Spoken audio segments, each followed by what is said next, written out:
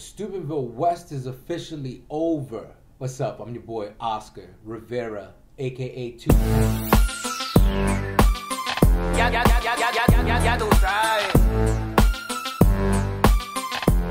The conference is over, and I've been humbled to had worked alongside Mark Hart, Ike Ndolo, Emily Wilson, Chris Padgett.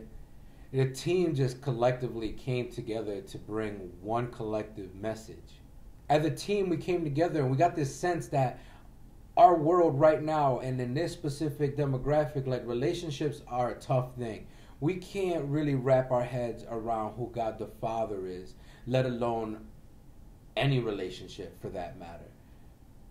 So the emphasis was really strong on the relational aspect, the communal aspect, that community coming together. In my guys session, I talked about what our mission was as men, how we were to bring life and not necessarily take away life, how we use our mouth to actually breathe essence into people. What, what does that mean? That sounds kind of hokey.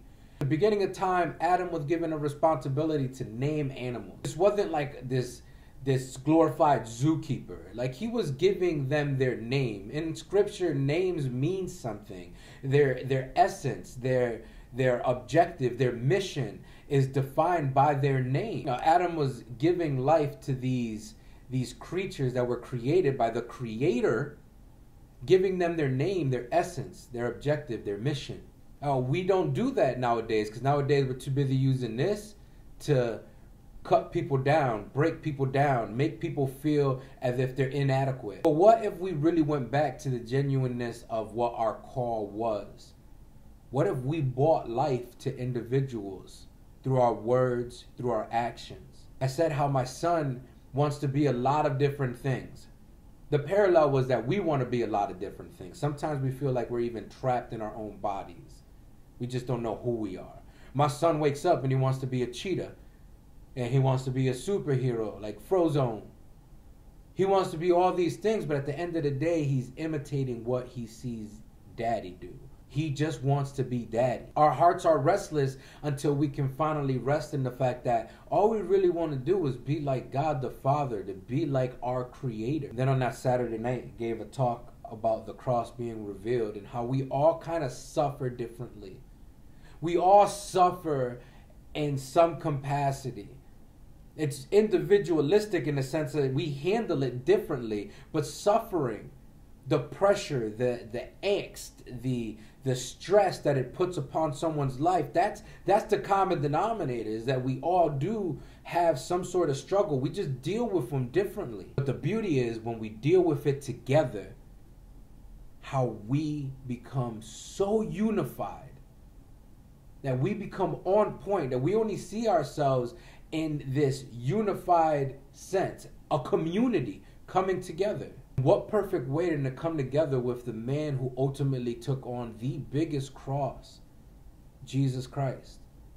Like when we join our sufferings to his sufferings, it doesn't minimize our suffering, but it gives us a purpose. It gives us a reason to continue to endure because we're suffering together. Like Simon, Simon was given the responsibility to carry the cross with Jesus. He didn't want to do so at the very beginning because this was a stranger. He didn't know Jesus. But as he journeyed with Jesus, he realized that he didn't want to let that cross go. That he didn't want Jesus to die. Together, I think that if if we were to come together and really stop thinking about our lives so individualistically, we remove the blinders for a second and realize that there is a person to the left of us and to the right of us. If we realize that and we joined in their suffering, that together we would be amazing.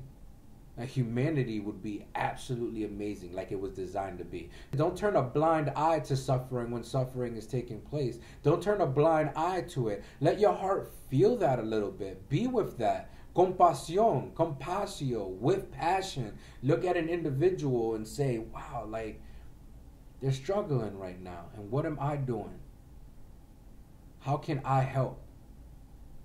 At VBS uh, this week has nothing to do with the Steubenville conference or any conference. It has nothing to do with high school kids. They're a bunch of little kids, and we're teaching them about charity. And the, the song that we had was "Charity is Love in Action."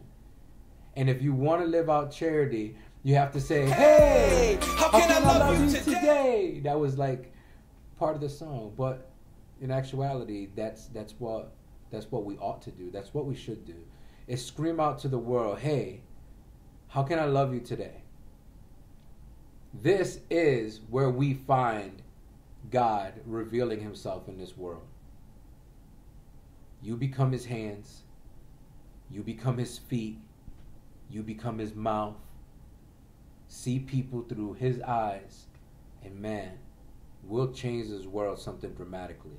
I'm your boy 210. I'm signing out from Tucson, Arizona. It's been a blessing and again, humbled to be here, but I gotta go.